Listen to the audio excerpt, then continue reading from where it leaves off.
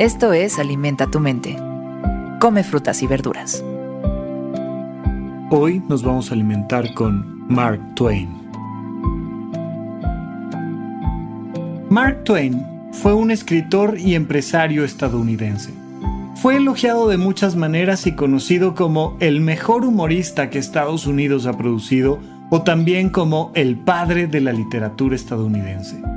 Sus novelas incluyen Las aventuras de Tom Sawyer, de 1876, y su secuela Las aventuras de Huckleberry Finn, de 1884.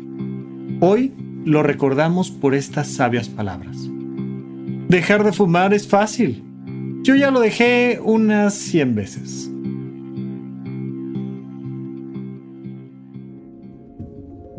Y por supuesto, es simplemente un poco de sentido del humor, pero no sabes cuántas personas, aún sin haber leído a Mark Twain, han repetido esa frase a lo largo de toda la existencia. Y aprovecho para decirte que si no has comenzado a fumar, no lo hagas es sin duda una de las sustancias más dañinas que hay para nuestro cuerpo y además de las más profundamente adictivas. Em, los psiquiatras conocemos bastante las escalas de adicción que pueden tener una sustancia y sabemos que hay sustancias que son más fáciles de dejar que otras.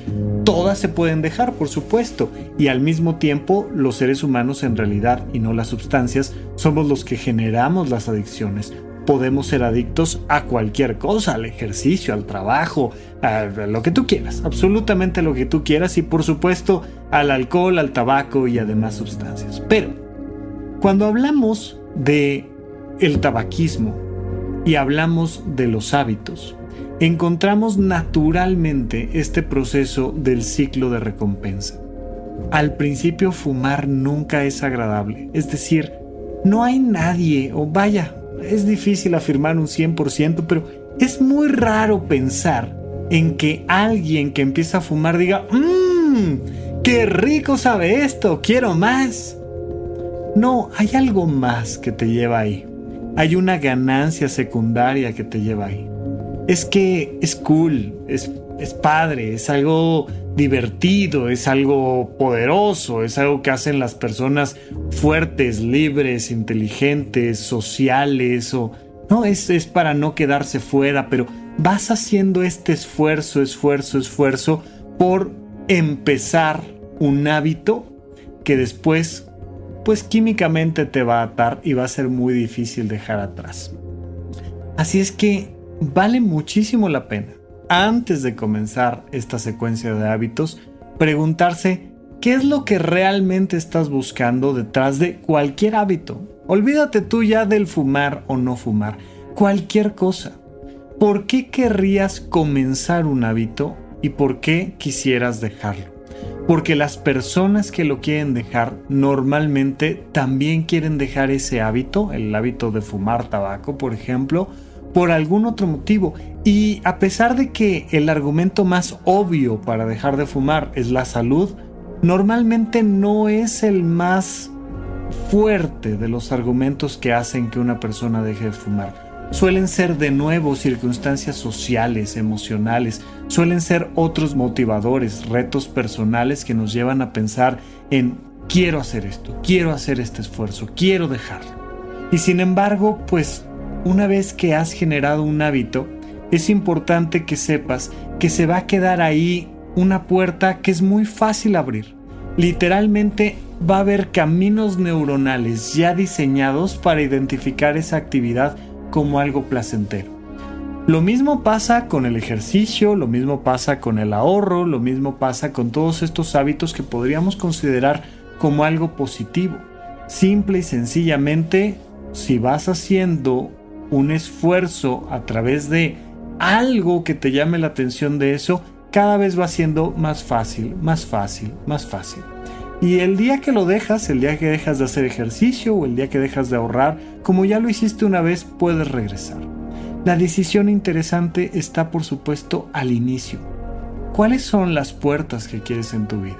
¿Cuáles son los caminos que quieres empezar a recorrer? Porque el día de mañana regresar va a ser muy sencillo puede ser un tema con una relación de pareja que a lo mejor te hace más daño que el tabaco, puede ser un tema con una sustancia que te lastima a ti o a tu familia, puede ser un hábito económico o alimenticio o el que tú quieras.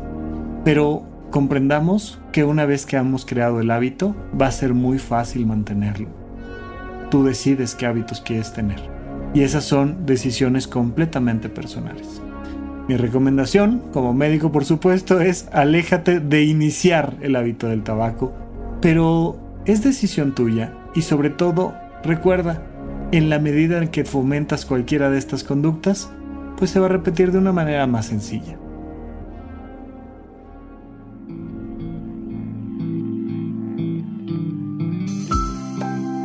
Esto fue Alimenta tu mente por Sonoro. Esperamos que hayas disfrutado de estas frutas y verduras. Puedes escuchar un nuevo episodio todos los días en cualquier plataforma donde consumas tus podcasts. Suscríbete en Spotify para que sea parte de tu rutina diaria y comparte este episodio con tus amigos. Dejar de fumar es fácil. Yo ya lo dejé unas 100 veces. Repite esta frase durante tu día y pregúntate, ¿cómo puedo utilizarla hoy?